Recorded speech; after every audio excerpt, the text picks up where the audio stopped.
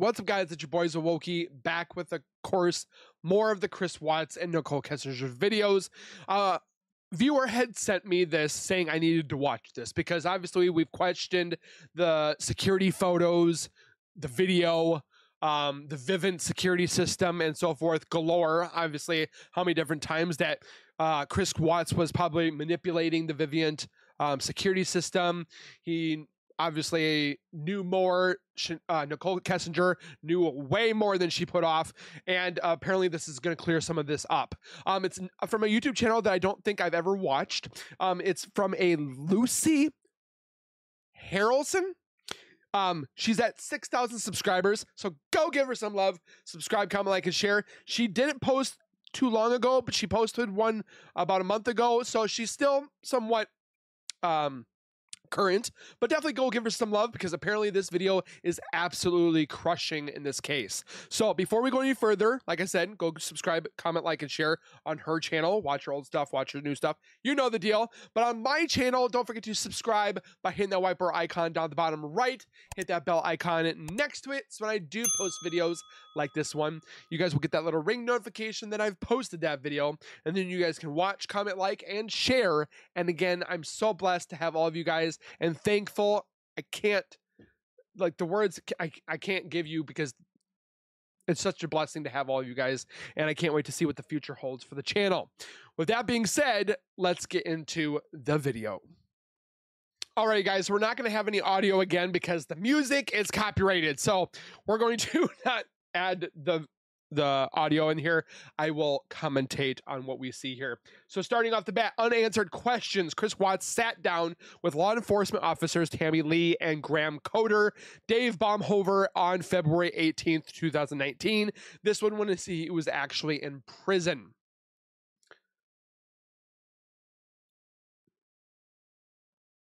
So, looking at it, March 7th is Chris Watts going to tell the truth. Um, Chris Watts, obviously, inmate visitation history. We see uh, Dave Baumhover, we see Coder Grahm, and we see Tammy Lee as well. Is Chris going to be honest this time? Probably not. This man it just spits out a whole bunch of lies and crap and so forth like that. So, um, March 7th, the audio and transcript of the conversation will be released. Obviously, we've seen that and so forth like that before, but let's continue. So we're going to start seeing some footage here of obviously the security system and um, the security footage from Nate and so forth like that, which has been slowed down and all that, all that jazz. Will we finally learn how and where the girls died? Can Chris' word be trusted? No. I still feel the girls were unfortunately removed from this world in or at Cervi 319. I don't believe that he did it once at the house and then did it a second time. We talked about the theory possibility of him doing it once at the house, but then Nichol possibly finishing it at Cervi 319. It's just a theory, entertainment, educational purposes only, and research purposes. Um, I just don't think that's a theory to go with uh, because they didn't have any bruising uh, on their autopsy reports when it came to the eyes and so forth. So I believe this is where Shanann was carried to the truck. He looks like he's struggling. I don't know if he looks like he's struggling. I've definitely watched this over a whole bunch of times. I don't feel like I see it. Watching the shadow, you really don't see him. I just don't see it. If he carried her out the front, with a bag on her head, a bag on her feet, and then sheet wrapped around her, you cannot tell me no one's going to be like, hey, oh, oh, what are you doing? Like, you cannot tell me that. Now, the girls, when did they come out? Were they still alive? We see the little um, shadow of one, but I think that was either, Be- I think that was Bella Five minutes before Chris leaves, he loads two last things in the truck the girls. Now look at the shadow.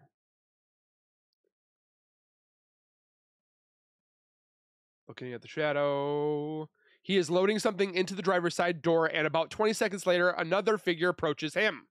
So he came out with one daughter, which was probably Celeste. And then Bella comes running. Now look at the shadow. I think that was Celeste. Or that was um Bella. One child being put into the driver's side of the truck. Can't say 100% on this one, but I do believe that this is one of the children. Yes, I believe 100% certainty on that one too. I think it's Bella um, because Bella is more up to listening, where CeCe would just be more of a kind of like woohoo kind of thing. Um, the child almost appeared to be running and then is swooped up by Chris from behind. Was this Bella? Did she realize her daddy was no longer her hero? I don't think at this instant. She thought she was just going to help mommy get better because Chris said mommy's not feeling good. Unfortunately, is what she led to believe thought was the answer.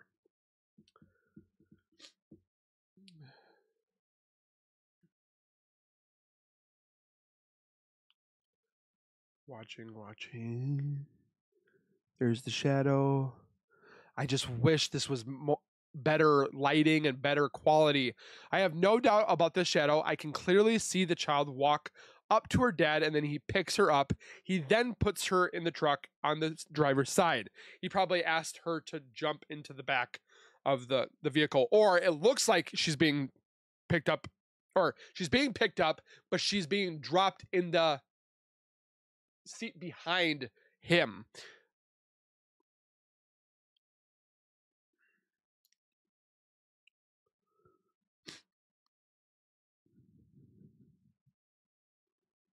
And I wish this bush wasn't in the way. I'm really trying to watch it here. She definitely really slowed this down. Oh, then he goes. Oh, I wish there was a camera on the other side. And you can't tell me that ring camera was not on. What triggered Nate's security footage? The foot footage starts before Chris exits the garage, which is very interesting because, like he said, the camera only goes off by motion. Okay. So he's already, this camera is already recording. So what made it go off? The footage starts before Chris exits the garage. Why did it start recording? Did somebody come in?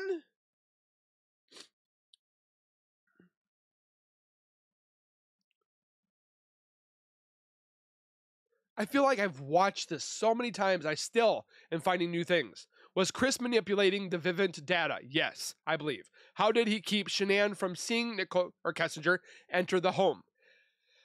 That's a big statement because I don't know if she was there or not because we don't know. But again, the Vivint system that he said was downstairs in the basement didn't have any sensors in the basement. But then there was that sensor in the white corner or the the corner that had the little white piece. But he said that on the opposite side of the basement where the windows were, did not have a sensor. So she could have been down there for all we know. She could have turned off the Vivint system because he had mentioned too that the windows weren't actually even locked. All you had to do was like boop, flip something and you were able to enter the home. So she could have gone through the home through the windows of the basement hid out in the basement the entire time until a code name or something like that that Chris mentioned and she came up she could have turned off the Vivint system through underneath the stairs. All you had to do was crawl underneath the stairs where that little area was, which I might, in fact, the dog's alerted to. And all she had to do was unplug the Vivint system. It would have been all lights out. I'm so frustrated because it just we we know as a community of this case that Kessinger was involved in some shape or form. Again, like we said before, we can't tell if it was physical, mental that she did it with Chris, or emotionally on him. But again, I'm not giving any excuse for Chris what he did. I'm just saying Nichol helped some way, shape, or form. So at 1852, so that's 652, uh, after Shanann told Watts to call Vivint before I flip Watts advised they are sending a sensor for the garage door. I tried moving it like they said, and it didn't work. When did this happen? Hold, hold on. Watts called Vivint and held a 20 minute conversation. He entered Vivint into his account or his contract or pff, contacts following the call. But when was this? What day was this? Immediately after Watts called Vivint briefly at 1716, Watts called Vivint a second time and held another 25 minute conversation.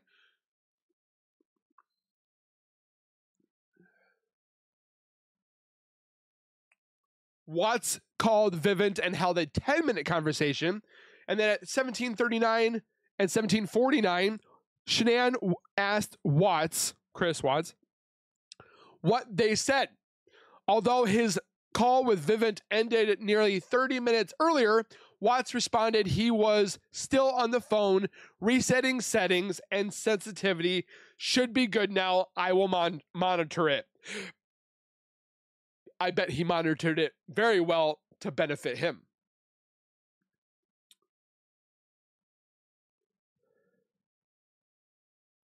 This is very interesting. I don't remember seeing any of this in the discovery. It could have been something that I overlooked too. I mean, there's 2,000 pages. Come on. How did she get in and out without being seen by neighbors and camera? The back. That's what I'm telling you. The back. Was she sneaking in the back? Why was Chris parking the Lexus down the road? To throw this off. I'm telling you, there's something with this woman. Oh, okay. So the or the question was something I asked you about um because you've been there twice. It just made me remember. Do you remember how you guys accessed the house? Or how you guys accessed the house? Answer, uh, that's a good question. Uh, so once through the garage, I think once through the front door. Okay. Question. Uh, answer, I think the first time was through the front door. I think. And then I think the second time was through the garage. There's a lot of I thinks here. Question Is there anything unique about either of the doors when you went into the house that might not be typical of another house? Answer from Chris Watts like a unique door. I know they have a question, not the door itself. Answer camera on their door?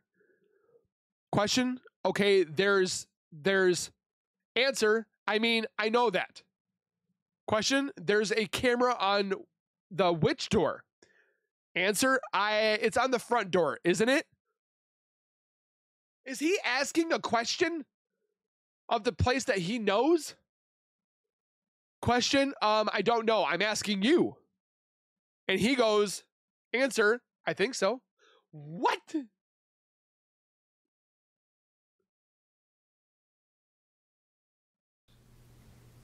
Uh, that's a good question. Uh, so Oh, this is with Nichol.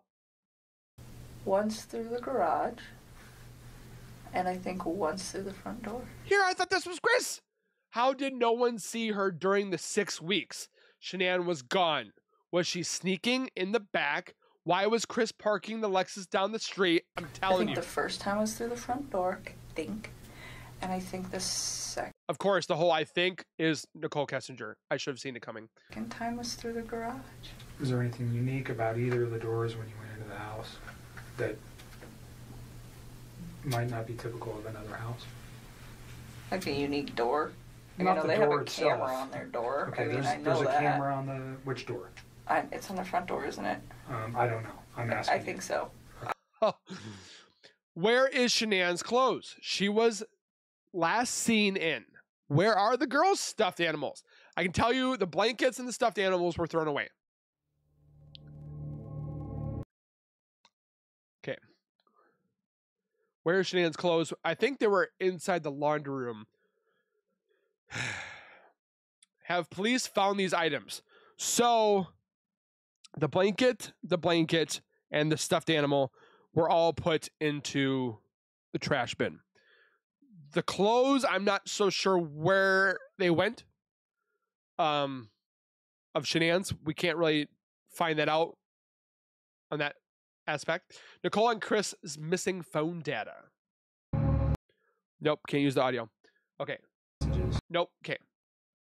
The device, that, which was the app roll we've seen before, the device is devoid of any calls, messages, photographs, or videos involving the Watts. There is no listing for Watts. Wait, what? Nor even his number in the device's contact list. All signs of Chris Watts are deleted. Oh, okay. That's what it meant. I was like, what? Wait, wait, what are we talking about? The number of text messages recovered and found in both phones don't add up. They either had other phones or were very good of getting rid of them. Did the police recover? Well, that one person said that we weren't able to recover all of the information. They said we were able to get a good amount, but not all of it. Did they really only know each for a couple of months? Hell no. There's no way that you fall over head over heels in six weeks. I'm telling you, I mean, don't get me wrong, us guys, we can fall hard in love fast. But I would never murder my family for anyone. So I'm just trying to figure out. This is so frustrating.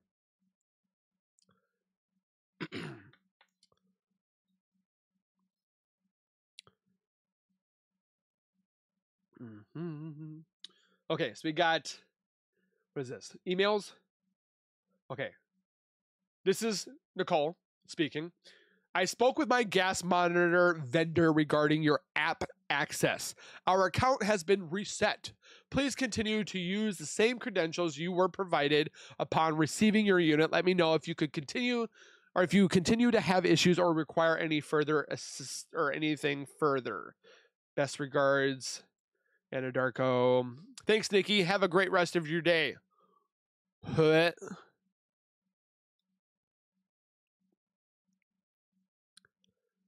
Thank you for being honest with me this morning. Truthfulness is so underrated in our culture. Now, again, I've said this before. I think these emails were to show us a time frame that they wanted us to believe. They wanted us to show that around June 12th and so forth, that's when they started getting to really start talking. When they were researching each other, well, Nichol was researching each other way before then, but then Chris started doing it. And then she started looking into Shanann and all that stuff. So, for those that haven't read the emails, I'm going to continue reading the emails. I am a straightforward guy. No, you're not. Lying just complicates things. You're the biggest liar that we've ever prob- probably seen. I think you're absolutely stunning, and from what I've learned about you so far, you seem like an amazing person. Sir, you're married with two kids and one on the way. I hope to continue to get to know you better since we have a lot in common. Gross. You should be worrying about your wife and your beautiful kids.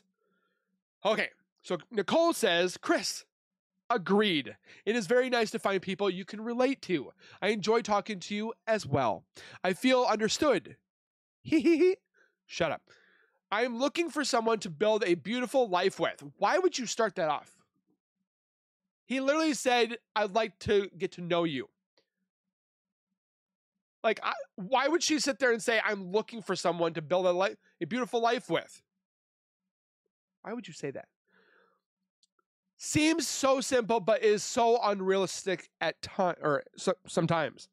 Building something similar to what you have done with your wife and those cute little girls. Aha! She knew that they were not separating at this moment.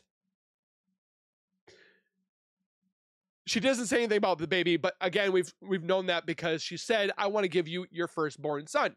So right here shows us at 12, June 12th, she knew that they were still together. Again, we already know that she was Googling them, Facebooking them, and stuff like that. She knows about it, but this is just another nail in the coffin to make sure that she hopefully gets it.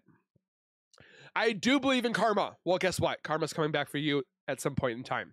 So, out of my respect for myself, you and your family, I think it's best if we keep that friendship at work. Again, this is put before anything happens to show this is where they want us to believe that Nichol was not in love with Chris. But again, I find this very ironically condescending. Is that what I want to be? Is that what I want to say? Um, by the way, I keep the conversations we have between us. Aha! Secrets.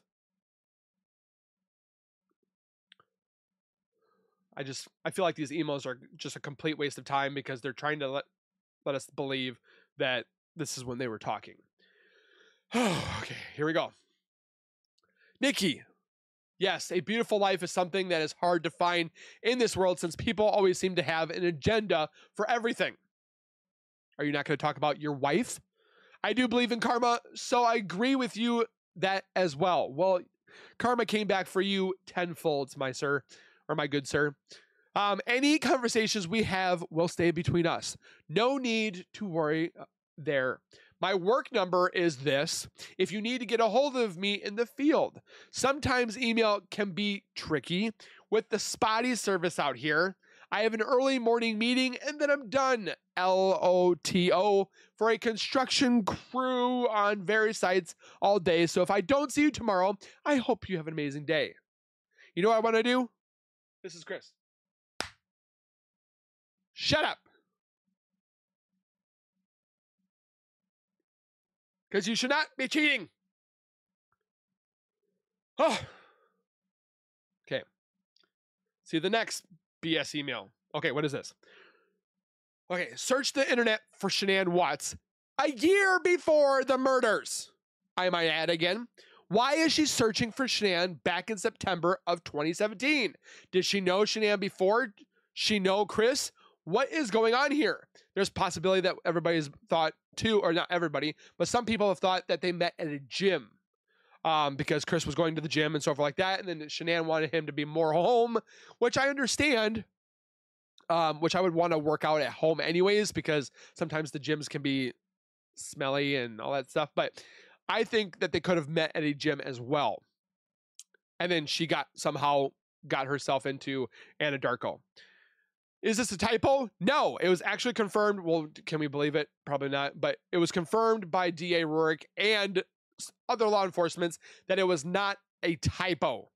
So she actually searched them up a year prior and then six months prior, three months prior, two months prior, one month prior. Like she searched her up quite a bit. Okay.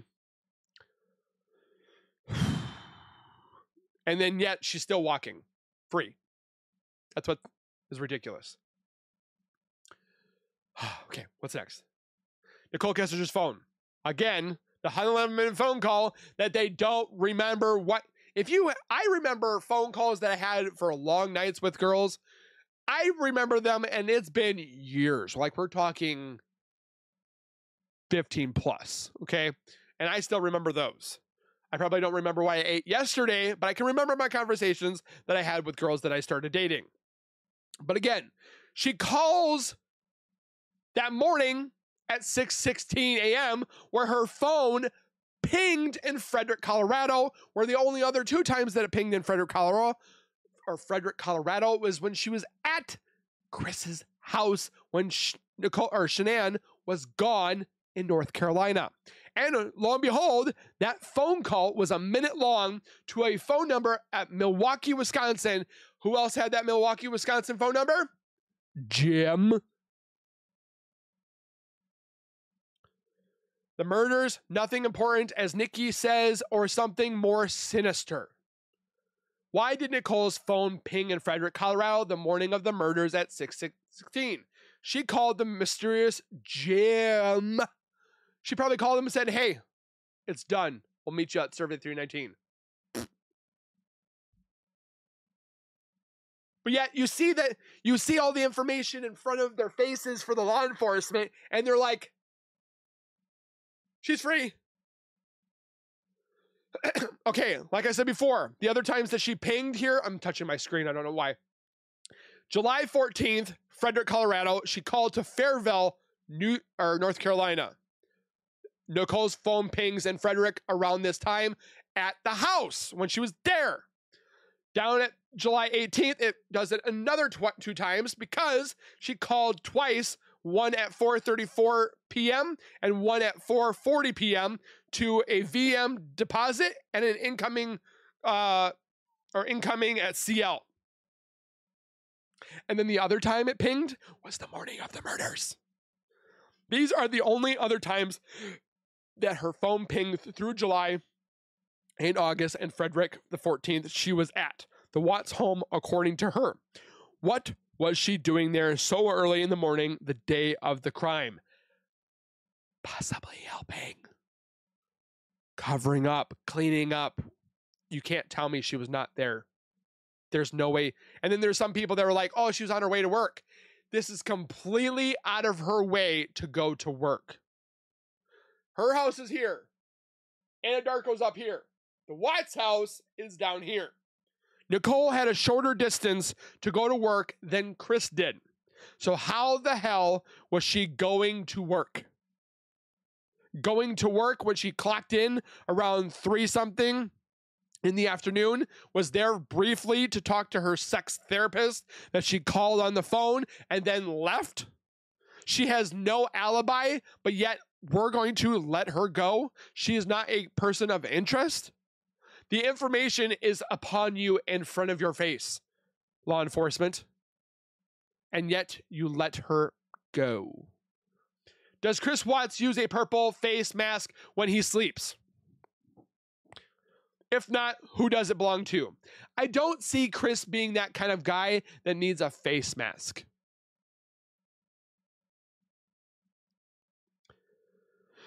And I don't think many guys use face masks. Not saying that guys don't, but again, what if Nichol was in the bed when she came home? It looks like it looks cutesy, like it looks like a cutesy eye thing. Look if you look on the pillow. That's another thing. Did they DNA swab the pillows? Did they see if there was any white substance? Did they see anything under the bed? Did they collect for hair follicles?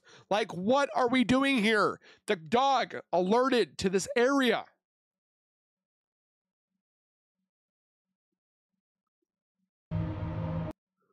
Still music. Did Chris throw up at Cervi 319? I think he did because he finally realized what he did and he's like, huh, okay, now I got to figure out what I'm going to do. Like to clean it up. Is this where he killed the girls? I believe so. Look at the pink on the ground. The pink on the ground. Where are we looking? Oh, hold on. Where did she got this? Okay, so the pink on the ground, but where is this junctured to the tanks?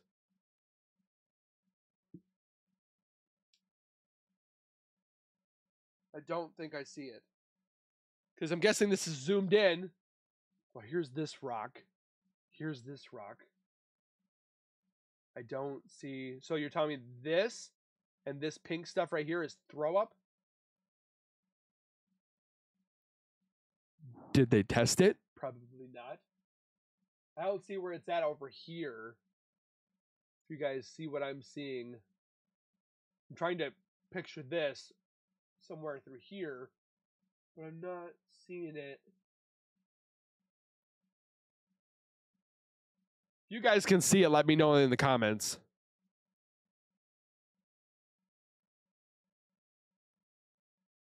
Interesting. Can Chris be trusted? No. In any way? No. Will he tell us the truth? Probably not. He'll just keep altering the truth and so forth like that going forward. About where he snuffed out Shanann's, Bella Celeste, and Nico's lives. Subscribe and comment more below for Miss um, Lucy Harrelson. Make sure you guys go give her some love. You know the deal. Um, again, let me know down in the comments what you guys' partake is on this. I think again, wholeheartedly, the whole Vivint security system was completely tampered with. They knew where the the sensors were. Um, even Chris was sending pictures to her to kind of see what she was feeling like. So maybe this whole thing with the Vivint security system was his way of testing the bads, the goods, the settings, the this and that, and he was able to get this under control so it would benefit him in this time of the murders. With that being said, let me know your guys' partake on this. Please hit the like button for the obvious reasons that, that hopefully one day these videos and all the YouTube channels and so forth like that that are trying to find the answers will make a difference.